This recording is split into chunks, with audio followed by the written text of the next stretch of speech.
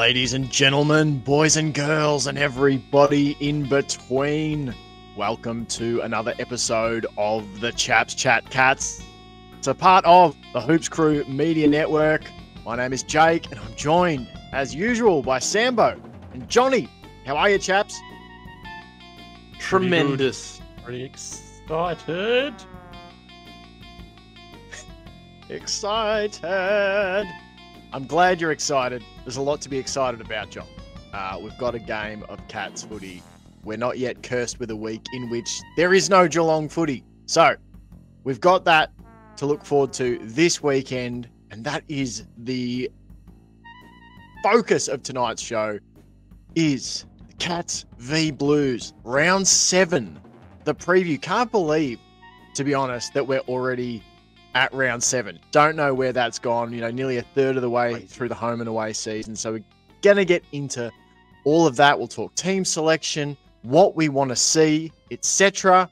Then we're gonna cross over to the Hoops Crew Patreon part of the show, which is just for our Patreon subscribers. We're gonna do our match predictions, which we do each week. So if you want to be part of the show there, make sure you go on over and start your seven day free trial on the Hoops Crew Patreon. You get access to extended podcasts, early access for behind the play episodes with uh, Paul James. You get Wednesday news wrap with myself and Ben, as well as VFL women's and men's coverage, which is exclusively for Patreon subscribers. The preview, VFL preview, will be out tomorrow, uh, Friday afternoon. So there's a lot to like there. So go and start your free trial. Let's get into the show.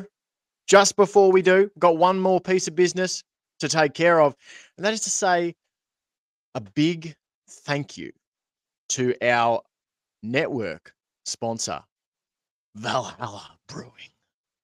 Straight oh. from the gods, the nectar of the gods, Valhalla Brewing. Make sure if you're in and around Geelong, you go and check out the brew hall over in North Geelong. If you're more central in the CBD of Geelong, get along and check out the Valhalla Tap Room. Feel like we need to go and do a bit of sampling, chaps, next time that we are, you know, in Geelong for a footy game. I think it'd be pertinent decision making from us. So, yeah, thank Oh, you to. Valhalla Brewing. Let's get into it, chaps. We've done all the housekeeping, so let's talk it on the show tonight. Cats v Blues, the round seven preview.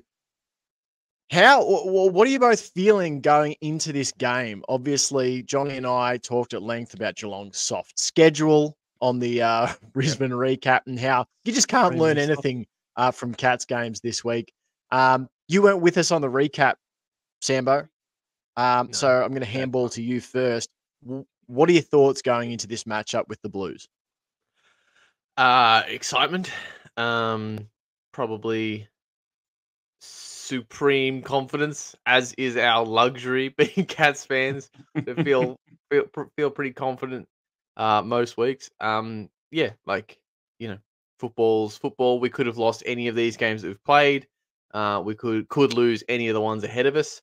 Um but as far as I can see, there's no reason to assume that's going to happen at any given time. Um, we'll deal with that reality when it when it is upon us. Um, but until that time, then I yeah I see no reason why we can't and shouldn't win this game. Carlton are you know a good side. They're really getting uh you know getting their sort of their act together s- over over uh, the last couple of seasons. Um, and you know putting some wins under the belt and whatnot. Um, so it certainly will be, I think, a good a, a further test. But I, you know, as you guys, I'm sure you guys have covered, we have been tested. You know, thus far, thus far, the result is any team, any condition. So until until the the exception to that rule pops up, that's how I'm feeling. Yeah, Johnny? I can't really complain, say much different. Feeling um, normally going into a big game like this, I'll be a bit nervous about this time out. You know, getting nerves a bit, a little bit nervous, a little bit anxious about what's going to happen. But I tell you what, I'm still feeling very confident, very at ease. I'm more looking forward to a good game than anything else. And as Sam said, it's we're still 6-0. We can go 6-1 or 7-0 at the end of the day. It's still a fantastic start to the year. um, and so it'll be if if we get a loss early in the year, it it'll be a good way to see where our def- deficiencies are in the game plan. But you know, as a loyal, one-eyed cat supporter, there's not many deficiencies in our game plan at the moment. I don't reckon. But um, yeah, I'm just looking for, more looking forward to a really good game. Seeing how the Cats do stack up again against you know a pretty pretty solid outfit. Like they've got a good midfield. They've obviously got a really good forward line, and the defense is you know reasonable. You don't hear much about the Blues' defense. It's more about their midfield on attack. So yeah, I think it's going to be a very good test. And yet again, midfield will be up to the challenge, I reckon. No. But yeah, can't wait. Yeah. No, it's interesting. I'm just going to have a look at, I think you boys have pretty much summed up my feelings. Enjoying looking forward to another game. If you'd offered me seven and zip before the season, I'd have absolutely bitten your hand off. And if you'd offered me six and one, likewise, I'd be making a meal out of that hand regardless. Six and one, seven and zip, don't care. I'll take either. Um, so yeah, you're you're in just a, a superb position as a Cats fan. Um, as we sort of joked about on the recap, Johnny, it's been a pretty fantastic position to be as a Cats fan, pretty much since 2007. Um, bit much. insufferable for everyone else, but I don't give a stuff what everyone else thinks. So Let's have a look at the last time these. There you go. Yes. No, you go. What do you? I was just gonna say, Tell me what. I've you seen a lot of comments on videos that is talked about the cats. People just going, please, can Geelong just like rebuild? Can it just like go away? I replied to one one person going, Can cats just like bloody rebuild and leave us alone? I said, What do you think's happening right now? You're, you're looking at it. Yeah. Did you just? Did you not think about putting the, the Bugs Bunny? No. uh, I gif? did. um, all right, let's have a look at the last time we played the Blues. Got to go a fair way back. Round two of 2023, the last time we took on Carlton. The Blues emerged with a 13 12 90 to 12 10 82 victory. They had Charlie Curnow kick five goals, two. Owies three straight. McKay one goals, one. It was Adam Saad two uh, 29 disposals, Cripps 27, and Kennedy with 26 for the Cats. Jezza Cameron racked himself up some Brownlow votes with a six goal one performance to go with 25 touches. The other key stats winners were Ollie Henry, two goals, one. Hawkins, one goal, one.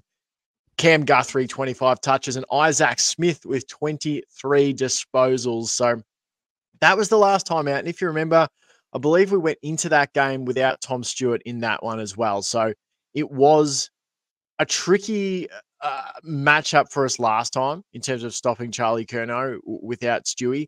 But having said that, I think Sam De Koning was also playing through injury in that game, if I remember correctly. And I also just think Many players. oh, we were. didn't have Jack Hen- didn't have Jack Henry either. Now that I think about it, because he was out early in the season, because originally the talk was Jack Henry will play forward because Hawkins is going to be out, blah blah blah blah blah.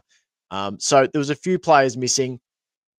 Um, chaps, we're going to get into Cats team selection now. Now, Sambo, you have seen the team selection. I've seen the team selection, but Johnny has not seen the seen the team selection. So I want to get John's live reaction here to uh, how the Cats are going about it this weekend. Um, so Johnny, here we go. We need Yes. your reactions here because we've got in Zach Tuohy, Rhys Stanley, and Cam Guthrie returning for the Yeah, Cats. He was boy. cleared during the week.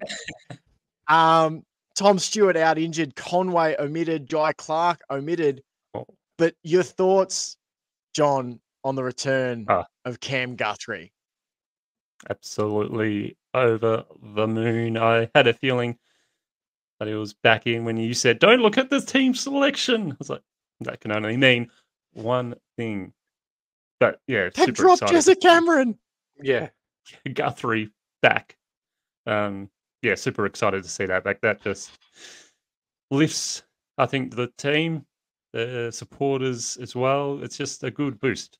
It's a good boost to see him come back. Hopefully, it's not a preseason game where he gets the ball, kicks it, and is injured instantly. Um, but no, it's awesome to see him come back, and just can't wait to see him out there again playing into hoops in a in a match. Um, it's been over what over a year now since we last saw him, if not longer. And yeah, super super excited. And I think if he's he's playing and he's fully fit, he's ready to go. He's gonna tear apart this Carlton team. I reckon. I reckon he'll be fit and firing and ready to bring a great victory for the Cats. He's he'll be hungry. That's um, for sure yeah, definitely should be hungry, Johnny. After you know the best part of you know a, a, full season, pretty much last year, and then you know to miss such a chunk this year already, the first six games after mm. you know playing what you know 15 seconds of the match sim um, to start the year. Sambo, any concerns from you? Like, would you have preferred to see him come back through the VFL, or what are your sort of thoughts on on Guthrie being straight back in? I, I'm pretty happy about it, to be honest. Like, it's you know um, I think it's a little bit of a of a different situation because he did do. It feels it feels odd to to us and to me especially because I didn't watch the match sim where he even got injured in that point. So it feels to me like he hasn't played all last pretty much all last year. Didn't do an off season and now he's finally built back and, and coming in. But um, you know, as we know, he's done a full off season. He did the pre, you know, the the off season, the preseason. So they've seen a lot of of what he's got to to offer after that last major injury, and this one was a whole a whole new, um, you know, less less bothersome, clearly injury because he's bounced back quick, um, quicker than than the the previous one. So I think that it, it, it makes a lot of sense, really. You know, you pointed out Jake, he's just he's kind of just as likely to get the um to you know if there's an injury concern or a risk of any kind, which I don't necessarily think there is, but in that scenario, if there's no added risk, then you're just as much, uh, just as likely in the VFL as the AFL. Um, you know, we've got a got a you know pretty big out with Tom Stewart, so it seems like a uh, a prime opportunity to bring him back. And yeah, like I said, it, I don't think he's as unknown of a commodity, obviously, to the club as he feels to us fans at the moment because they've had him for a whole off season and then they've been working back in with him. So I imagine they're, you know, as we know, they're the elite of the elite um, medicos and selection staff at Geelong. So I have su- supreme confidence that they're, um, you know, they're uh, fully aware and confident in his ability and his his risks. So yeah, I, I don't feel any any kind of misgivings about it. I as soon as they said he was he'd been cleared for selection, I did secretly hope, although VFL was an option, I did secretly hope he was going to get a run because um, I think it just. I imagine he's really keen to get out there, and I don't think I can see a lot of benefit to giving in his scenario, giving him a run in the VFL first. I was listening to Dangerfield's um, interview, um, round seven interview press conference today or yesterday, and he was saying talking about Cam Guthrie. And he was basically saying that he was for about a about a month, if not a bit more. He said he was he's been training basically at full match practice, just getting in there with match sims as well, and said he's going harder than anyone else in those match sims and during training. So, in Dangerfield's eyes, he's up and about, ready to go, and ready to play his absolute best. So I think if Dangerfield's saying that, then it's good enough for me. Yeah, absolutely. Um, I, I'm.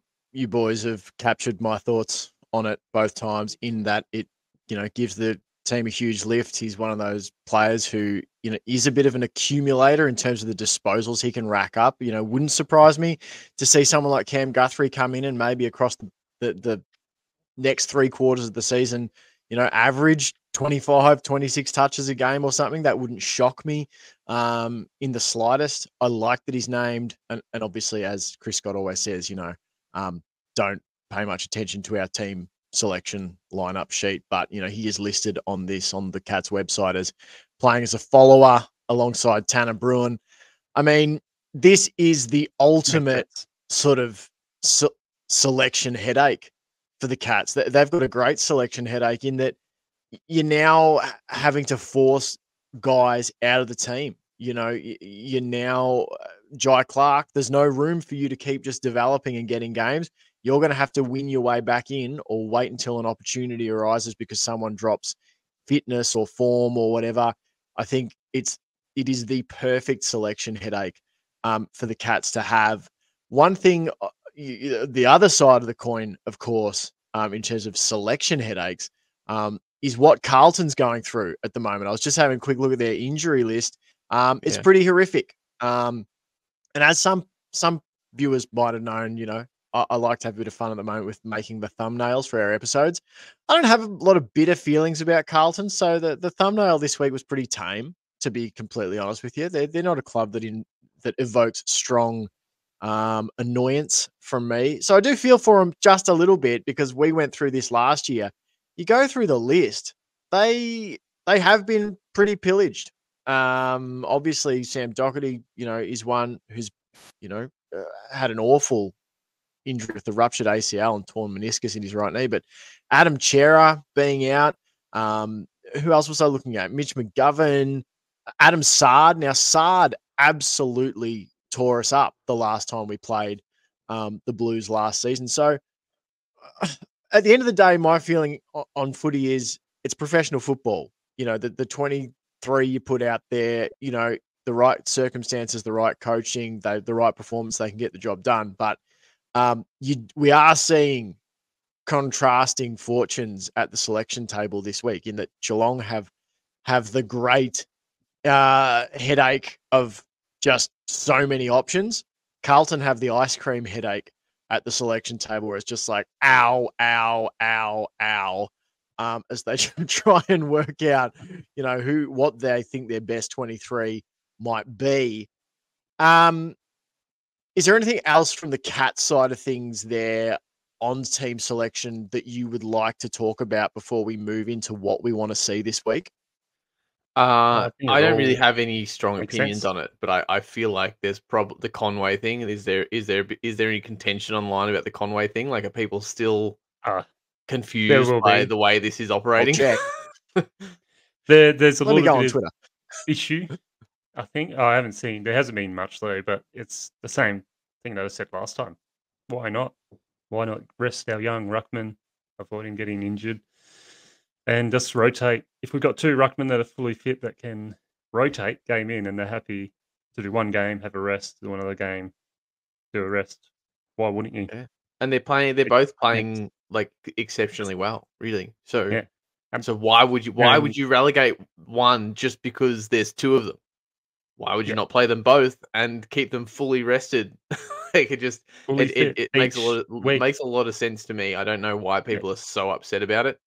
Um, it, it's even if Conway was playing a little bit worse, I think there'd even be maybe more of an argument to keep him in. If he was like had a lot yeah. of promise but wasn't quite getting there, you'd maybe have an argument to to have him as the sub and let him play a quarter or two. You know, like just bring him out. But the fact that he's coming in and operating at this level, he doesn't really need just a quarter of, of experience here and there. He's basically ready, but he's not operating so much better than Stanley that you're going to kick Stanley out. So just keep yeah. keep swapping him. keep swapping him. He's gained that experience. Again, watch, learn from Stanley as he plays. Mm. Then he can implement mm. a little bit each game throughout the year, and then next year, I can see, I can see this year Conway maybe having two games in a row where he plays or three, and same with yeah. And, and Stanley, Stanley, had two then, earlier, I think. We went two in yeah. a row. And then next year, I can see Conway starting to take a lot more of the load and getting that match fitness right up. So, if we got this opportunity to um, rotate the ruckman, do it. Yeah. Keep him fit, t- keep him healthy, keep him fresh, and lower that risk of injury to Toby Conway. As as Cats fans, I'd, I'd, be just saying, hey, let's not rush out of this perfect sweet spot we have right now. Like, mm. we're not in the situation where it's like, damn, Rhys Stanley's out for the season. We've just got to throw Conway in there, whether he looks the part or not. And we're not in a situation where it's like, Toby Conway's injured again. We're just going to have to roll with Rhys Stanley all year and pinch hit Blicavs and stuff. Like, it is like nobody move, nobody leave your seat, yeah. Nobody shave your beard off Let's just change, enjoy change like, your facial expression. You know, I almost did Yeah, shave exactly, my beard off today, and then I thought You're not allowed. no change. And, and it's just like that thing at the moment. The pattern is Stanley for two, Conway one. Stanley for two, Conway for one. Mm. Like, there's not much better, I think, ways to ease your future in. And as I just said, let's not complain. This is an absolute sweet spot that so many clubs would would kill for. Um, let's just enjoy it as it unfolds.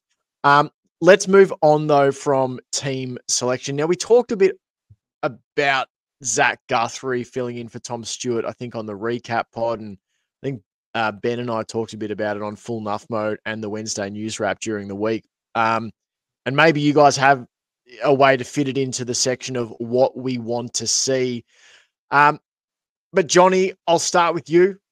What's Yep. something that you want to see this week, this Saturday night against the Blues?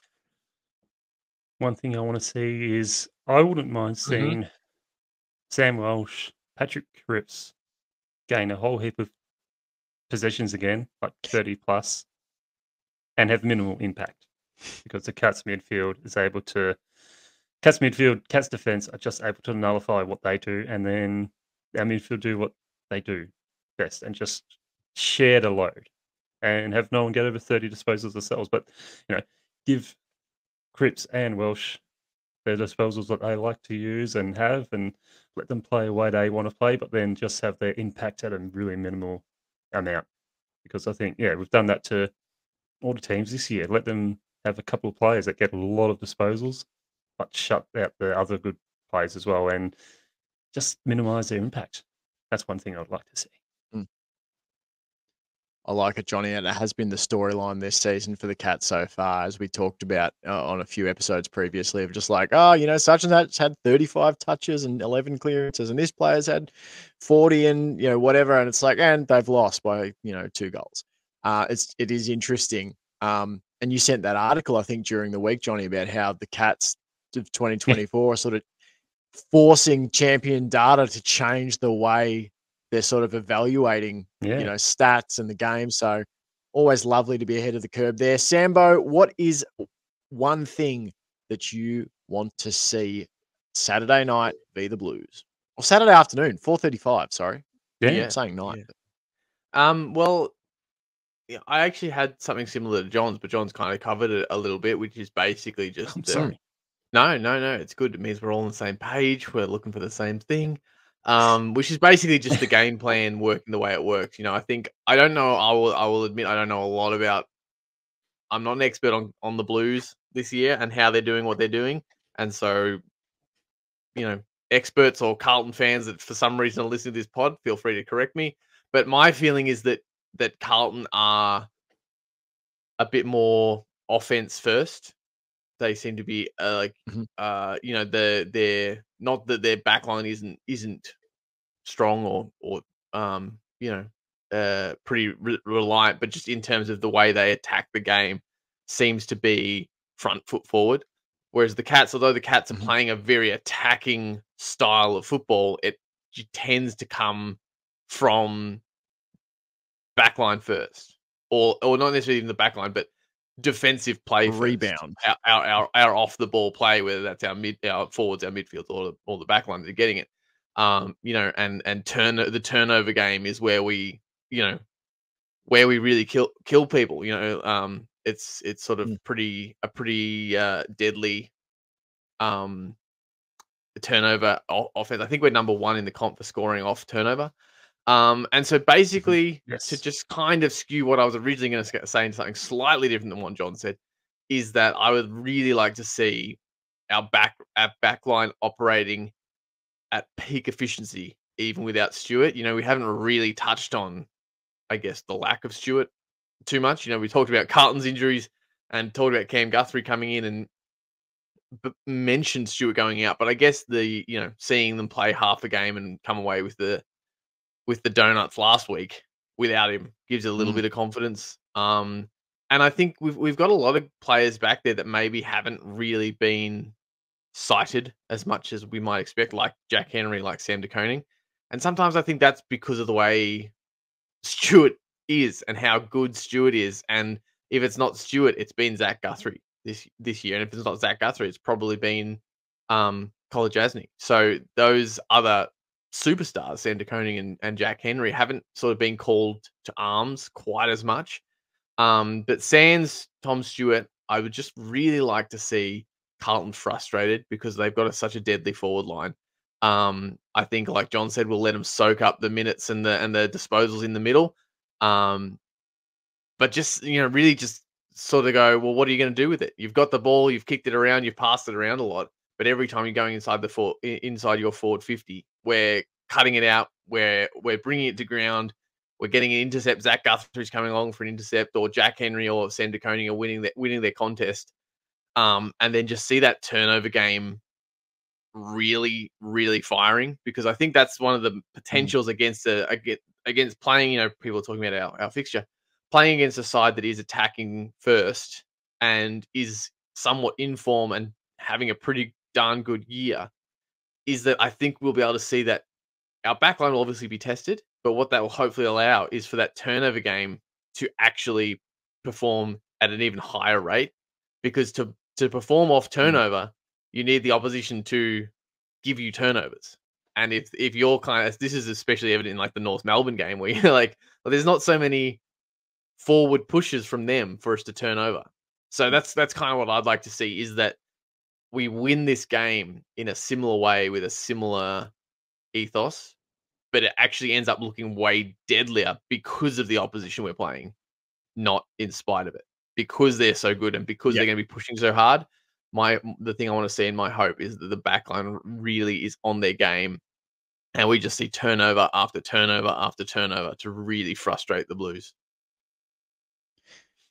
It's really interesting. Like I was just having a quick flick through like the different stats and that sort of thing, like to see where we're similar, where we're different. The kick to handball thing, like we're very similar mm. between mm. um, Carlton and, and the Cats you know, even uncontested possession, contested possession, we are very much in similar sort of ranges. Um, defensively, in terms of total tackles this season, Geelong's number one, Carlton are number two. Um, there probably are some key differences uh, in terms of efficiency. Carlton at 74.8% disposal efficiency. They are the number four team uh, in the league, Geelong at 70.7% are the second bottom team in terms of uh, of disposal uh, efficiency. Um, uh, but you know, there's a lot of stuff that's the same. There's a lot of similar um, uh, sort of areas, I guess, for these two teams. But that doesn't, of course, if you're just looking at numbers, it doesn't exactly have to speak to style either or the way um, that they go about attacking. Um, it, it is interesting, like defensively, Carlton. I remember it was a Jacob Weitering doing a really good job on Tom Hawkins. I think last time we played them, um, possibly mm. the time before. I can't remember. I think it was last last time. He only got one goal, one. Um, as far as what I want to see out of this game, um, I'm going to go just a specific matchup that I want to see. I want to see Mark Blicavs play on Patrick Cripps again. If you go back to 2022, uh, it was such a feature when we played the Blues and, and really put a bit of a smacking on them uh, in a game that they were pretty fancy to be up and about in. And Mark Blicavs went to Patrick Cripps. And it's sort of like that Jurassic Park thing where, you know, the the the new biggest nasty dinosaur comes into it. But T Rex then shows up and chomps down on its neck. And it's like, oh yeah, T Rex is still like the, the baddie. And uh, that's kind of what it was like watching Mark Blicavs go to Patrick Cripps. Cripps normally the biggest bodied, toughest, most explosive, you know, tall, can rest forward type midfielder. And then it was like, oh dear, now I've got to play on someone who's bigger than me, just as athletic, um, and can punish me going back the other way. I just want to see that again because I love those those types of matchups. Um, and I love the fact that Geelong have a Mark Blicavs to be able to do that. Not every team has a guy who can play ruck, backline, midfield, wing, um, and can physically do the job at any of those positions and can go to someone like Cripps. So I'd just love to see that. There's only going to be so many more seasons we get of Mark Blicavs. Um, as sad as that is to think about, he is now entering probably that final stages. Uh, who knows? Maybe he's got another three or so years. I don't know. How old is he? Maybe he's, six. he's older than Mitch Duncan, which Oh. surprised me. Far out. Um, that really shocked me. Um, so look, we'll see how it goes. But I want to see Blicavs on Patrick Cripps because I've greatly enjoyed it in 2022. All right, that is like it for us on the public part of the show. We're now going to cross over to Patreon, the Hoops Crew Patreon, and we're going to talk all about our Patreon match predictions. So if you want to listen to this part of the show, if you want to watch this part of the show, make sure you head on over and start your seven day free trial on the Hoops Crew Patreon page. Thank you so much for watching. Thanks for listening. Thanks for hitting that subscribe button, either on your favorite podcast app or on YouTube. We really appreciate it. Thanks to our sponsor, Valhalla Brewery. Uh, until next time, go Cats! Go Cats. Go Cats!